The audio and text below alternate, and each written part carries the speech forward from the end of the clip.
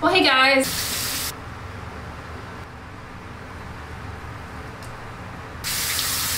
So I filmed a video for you guys reviewing this Rhode skincare line because I got some requests to review it after I told you all I've been trying it out. And honestly, it's not bad. Here's the glazing milk. What I like about the glazing milk is it does have this like little bit of grip to it where it doesn't just run off the side of your face. See what I mean? It's like, it's kind of thick. It's a thick liquid.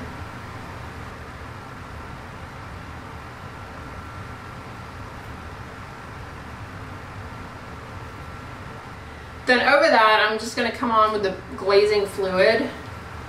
This particular combination, it does give the skin like just a nice hydrated, dewy base. So just do three pumps. I'll be interested to see the comments of that video. I mean, it should be up already at this point when you guys are watching this vlog, but I'll be interested to see the comments from you all if anyone has tried this out because I've been pleasantly surprised. Like, it's not bad. And now I'm gonna come on over with my sunscreen. I've been doing the Banana Boat Protection Plus Vitamins. So I've been doing the PAO face exercise gadget. I am very skeptical of that thing. First of all, I have kind of a hard time getting it to work. It's actually a lot harder to get it to flap. Like you nod your head and it doesn't, it doesn't flap like that. You have to kind of forcefully jerk your head and then it'll do that. But you have to like time, it, it's hard to explain. If you have any kind of neck injuries, stay away from this wacky gadget. I'm just trying it out because I'm curious. Um, but uh, one thing I've noticed doing it in the mirror is like, like I said, you kind of have to forcefully nod your head. But if you get in the rocking motion too much and, and you're thinking about it, overthinking it, you end up clenching the muscles in your neck too much, which is not the purpose. You know, you're supposed to be using the muscles around your mouth. Uh, it's it's not as straightforward as one would think. It's not as easy as just like bobbling your head around. All right, let me show you guys what I'm talking about. I'm gonna do it. So the idea is that you hold it in your lips. You don't bite down on it. You're supposed to put it in your mouth. You're not supposed to bite on it. You're supposed to hold it with your lips. So that's engaging the muscles around the mouth and then the weight is supposed to go up and down. And in theory, the weight's supposed to go up all the way to like your brow. But watch.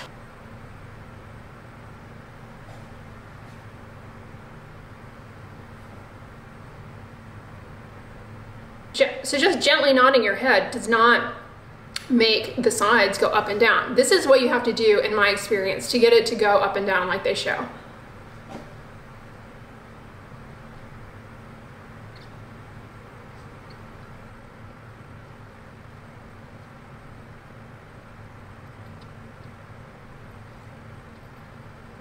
And you see how my neck is clenching? Getting the weights to, to move, to engage more, it doesn't. It ends up engaging your neck too much. I do get fatigued, like right around here, the cheeks, but I find that in order to get it going up and down and up and down, I start engaging the muscles in my neck too much. I'm gonna keep going with it. Like I said, I'm gonna keep going with it and I'm gonna try and get up there with the weight and see if there's a difference. I've been taking photographs, so we'll see if there's any change. All right, you guys, so update on my mushroom mug that I snagged at Kroger last weekend. Um, I like it, but I don't recommend it because this handle is just not it. It's really, I'll show you once I get it filled. See what I mean? Like, uh, I have to rely on those two fingers. Ow! It's just not a pleasant experience. yeah, and otherwise you have to do like this which the mug is hot, so that's not pleasant. So if you're gonna carry it across a room, uh, and there's there needs to be like at least a thumb rest here if you're gonna do that to give you some leverage. Yeah.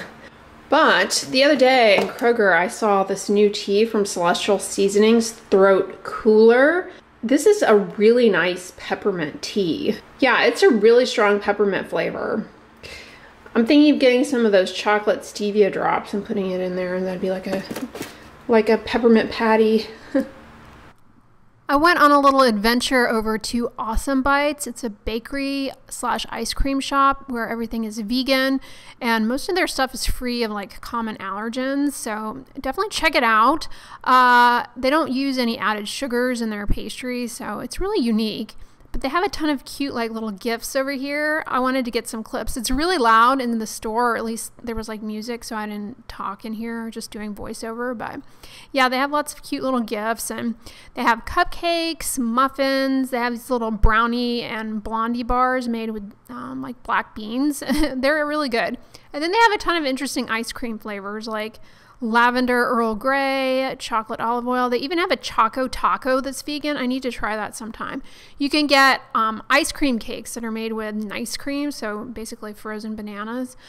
Um, it's just a really cute little bakery shop. They also had these like sauces and dips that I need to try sometime. Preserves with no added sugar. I think they're sweetened with like dates. Um, they look really interesting. Blake Hill. Let me know if you've ever tried these before. And then this is some kind of chocolate date dip thing and a vegan hot fudge. They even had vegan condensed milk that you could buy. Um, I got some little mini muffins to go, and then I also got one of their brownies. There's their little cute table. This area is very artsy. They have lots of nice murals everywhere, so I got this shot. Um, I went to this little warehouse where they have a lot of little shops and like galleries. I didn't really go in anywhere because honestly, I was kind of in a hurry. But here are some shots um, of the warehouse with artwork in the window. The sky is blue, in case you didn't know. Uh, but yeah, it's a very clear day out today.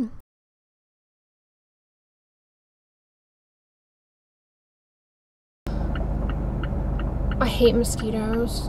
They're the worst. Like, what purpose do they serve other than to just challenge us?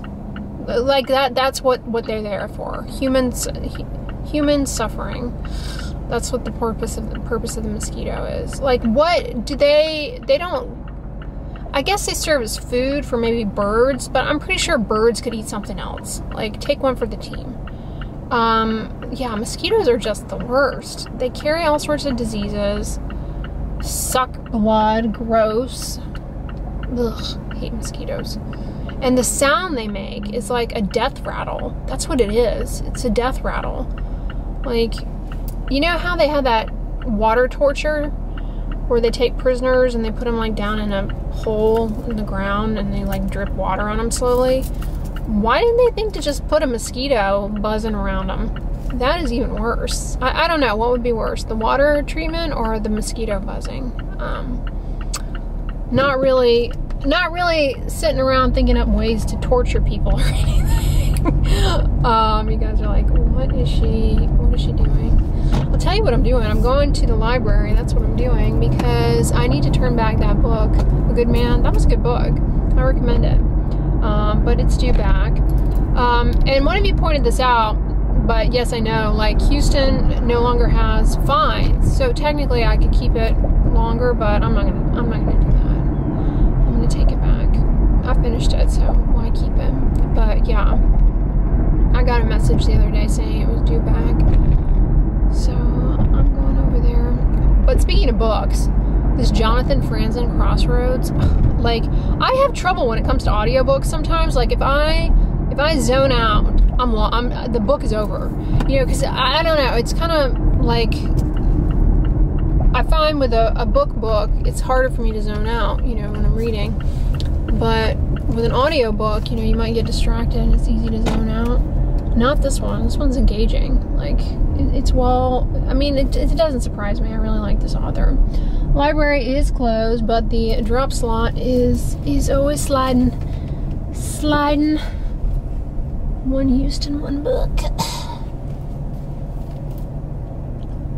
I heard they're opening up a new library over in the Montrose area. Comment below if you're local, um, if it's open yet. I mean, I know I could Google that, but uh, I heard it's it's going to be really nice. I mean, the one they had before was so nice, but it was like this old building, but cool. I don't know. I, I I'm intrigued. I have to say, the public libraries here, they're nice. Um, you guys already know though, I'm a huge library fan. Uh, I need to clean my trunk. It looks like something out of I have my little cooler bag. Yeah, I definitely, this is embarrassing. It's quite a mess, but we're gonna ignore that. Take you back, good man. Yeah, this was really good. Um, it was a quick read. Entertaining. But I found myself getting like annoyed with the characters as I went along, like kept thinking to myself, don't do that.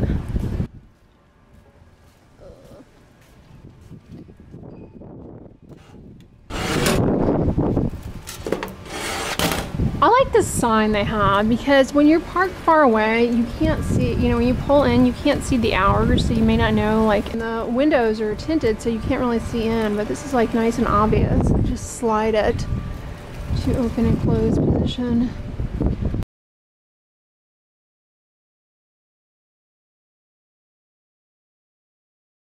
So, I mentioned in my monthly favorites video how much I've been loving the Angie Hot and Flashy a506 little kitten paw, she's trying to focus on her face, kitten paw concealer brush. They saw that and they reached out and said, thank you for mentioning our brushes. Let's send you another one so you have a backup and this one to try out. And they also gave me a code to share with you guys uh, for a discount. So this isn't sponsored, but it came in PR. And since I've loved this brush so much, um, I highly recommend it. I look forward to trying this out too. I just drove past one of the bus stops and it reminded me, I heard recently the little seating area, it's like uh, surrounded by clear like glass. But I guess with the heat, it gets like a sauna in there and it gets to a dangerously hot hot level so that people are better off, safer, just standing out in the blazing sun than they are in that little hot box. And it got me thinking like, A, that's not good. They should, you know, fix that, make something more comfortable. But uh, B, I was trying to remind, remember, you know, when I lived in New York, I took the bus a fair amount. And I don't remember what the little bus stop shelters were made out of. Were they clear? I can't remember. Like it never got to the the temperature that it gets here in terms of heat. I do remember st standing under those when it was raining or snowing, that's for sure. But I don't remember them getting hot inside. Like, who comes up with these designs? So, I didn't grow up in Texas, but the Texas mom thing. Um, so, basically, for homecoming, they wear these like giant sashes and they decorate them. I think it's kind of cool. But I had no idea they were that expensive. Comment below, is that like the going rate for a mom? Kroger has their Halloween decorations out. What? This is the year of the scary mermaid. Where were we in Home Goods? And they had those like spooky mermaids. And now they're skeleton mermaids. Pirates of the Caribbean vibe. But I'm really excited because check it out. Tuscany Candle has seasonal scents and they're on sale. Look at these long ones. Are those Tuscany or some other brand? Looks like some other brand. And they even have these special edition ones. Booze and Berry, Wicked Pumpkin. Then they also have these Apothecary limited edition. This one's really good, Eye of Newt. It almost smells like a Christmas scent though. Like they're going for autumn leaves. It smells more like a Fraser fir. And Essence of Nightshade smells a little bit like gardenia. These are new here on the end. These special candles from Tuscany Playdate. They're supposed to mask pet odors. This one smells really good. There's Playdate. And then I love the, the jar. Secret Play Place. Weekend Cuddles. These are cute. I'm telling you, Tuscany is so underrated. Like, they're always coming out with new scents and new packaging and sublines. Seamus Jasmine Coconut Milk for Best Pals. I just cracked into the bag of the cherry flavor of the Oomph gummies. I shared these in yesterday's vlog if you missed it. Um, I love this brand, Oomph. They make no sugar added candies. You can get them on Amazon. But I've never had the gummies until recently I bought a batch and they're pretty good. That's what they look like. They're kind of like a cross between a gummy and like a fruit snack. But the cherry flavor is more like a realistic cherry, not like a fake candy cherry. It's pretty good. I rather enjoyed the pineapple. I'm looking forward to trying the watermelon. They're really good. It says apple cider vinegar. I, I, guess that's just like a marketing thing. They don't have any vinegar taste to them, whatever. They're, they're nice. Mini fall candle haul. I swung into Big Lots and got this pumpkin muffin. But y'all saw there at Kroger, they got the Tuscany Candle Halloween. And I have to tell you, I sniffed all of them and the majority of them smell like pre-existing Tuscany candles. So you're paying for the holiday label, although it's not any more expensive than the non-holiday version. Anyway, this one smells like their frosted cupcake candle. It has a little bit of a pumpkin undertone to it and it has the the festive colors. So I went ahead and got that. I was trying to decide, they had a Halloween cookie one that smelled exactly like lemon sugar cookie, which if you know, that's my favorite Tuscany candle scent. I almost got that, but I was like, eh, I don't know, that's not really a fall scent. So I went with this trick or treat one because it has kind of a pumpkin undertone. But I'll probably fire that up in October, but I have this for them in the meantime. Well, hey guys, I just hopped out of the shower and to my face, I'm moisturized with the Rhode Glazing Milk. Um, and I came on over it with the peptide glazing fluid. So, you know, these are the results post-shower of the glazed donut look, which I'm not really getting glazed donut with this, right? They effectively moisturize to give that hydrated, radiant glow, but I don't find this looks like a glazed donut. Like, it's not shiny, um, I don't feel slick or anything like that, super dewy, but all that to say, that's what I have on my face right now. Now retinol, it has to, once it gets in your skin, your skin has to convert it to retinoic acid. So it takes a little bit longer to see results, but it definitely can help with things like um, the visible signs of skin aging. Maybe some age spots, maybe over the summer you got too much sun, you have a little bit of freckling, sun damage, you want to lighten that up. Retinol can help with that. And also with long-term consistent use, it can help to improve the collagen in the deeper layers of the skin. It can improve skin texture. In contrast, tretinoin is retinoic acid. It's already ready to go.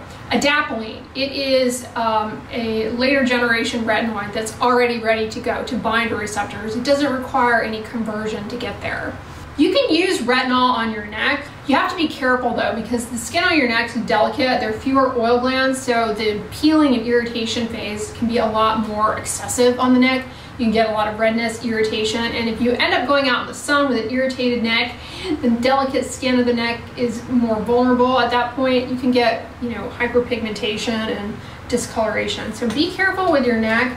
Retinol can help once it's converted to retinoic acid with some um, hyperpigmentation, you know, lightening hyperpigmentation because retinoic acid will suppress tyrosinase expression, so it can help with fading sunspots, age spots. What a day, you guys. I'm wearing my, this is a top that I got at Costco from the brand 32 Degrees. I highly recommend these tees. If you're new here, I wear these all the time, but I especially love the black ones. But um, I got a pack several months ago that's this light, this lavender color and like a blue and a black one. These are the most comfortable t-shirts. They're like this, I don't know what kind of material this is, but it's really breathable. It's moisture wicking. Like it, it doesn't make you get overheated. It's kind of cool and smooth on the skin. Anyways, I paired it with the, this is my, like my glam PJs. I paired it outfit of the night. I paired it with these pink shorts that I got at Old Navy with pockets. They were like five bucks. I swear Old Navy has the best deals like on shirts and stuff and these little shorts. So this is what I've been wearing as my pajamas, like, you know, I'm so fancy. but anyway, y'all, um, I'm gonna wrap this vlog up here. Thank you so much for coming along. I hope you're having a great evening whenever, or whenever you're watching this. I don't know like what time you're watching it. Anyways, I hope you're having a great day, night, whenever you're watching this. If you like this video, give it a thumbs up, share it with your friends, and as always, don't forget, sunscreen and subscribe. I'll talk to you guys tomorrow. Bye.